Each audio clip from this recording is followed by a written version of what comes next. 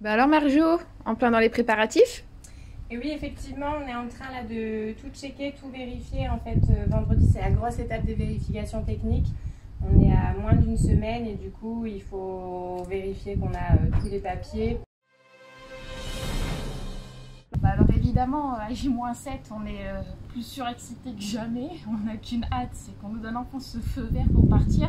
Ça fait voilà deux ans qu'on attend ça, donc évidemment là on est, euh, euh, on est vraiment euh, là au taquet, on est vraiment prête à partir, il n'y a plus qu'à. et- Et on a vraiment hâte en fait de, de vivre enfin l'aventure.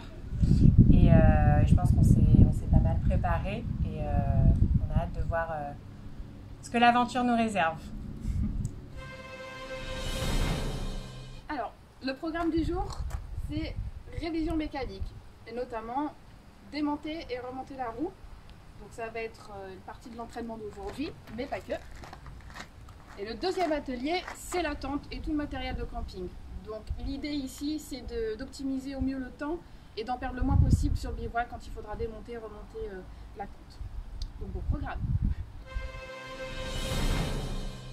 Alors on voulait dire un dernier petit mot à toute l'équipe de Bosch Car Service. Un énorme merci de véhiculer toutes ces valeurs euh, qui nous sont chères, à savoir euh, mettre à l'honneur euh, les femmes en général, de tout horizon, de toute culture. Minimiser également l'impact écologique. Il y a un réel effort écologique de la part de Bosch, mais également de la part de toute l'équipe du Rallye HL des Gazelles et évidemment l'engagement humanitaire qui reste primordial lorsqu'on prend part au rallye chez des gazelles. Et encore un grand merci à l'équipe euh, pour leur mise à disposition du 4x4. C'est euh, sereine qu'on part vivre l'aventure. On a eu un très bel encadrement euh, avant l'aventure. Pendant, on sera très bien accompagné aussi, ça on le sait. Et, on espère encore sur l'après continuer à faire perdurer ce beau partenariat. Merci. Merci.